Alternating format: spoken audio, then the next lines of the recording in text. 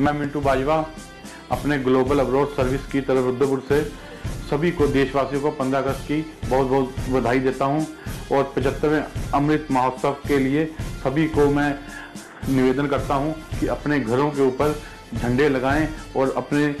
घरों में बहुत धूमधाम से पंद्रह अगस्त मनाएं